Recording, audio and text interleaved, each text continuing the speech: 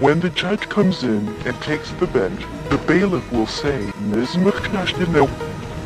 Present to the flag of our country, emblem of our Constitution, remember the principles for which they stand. Department 3, the Superior Court is now in session.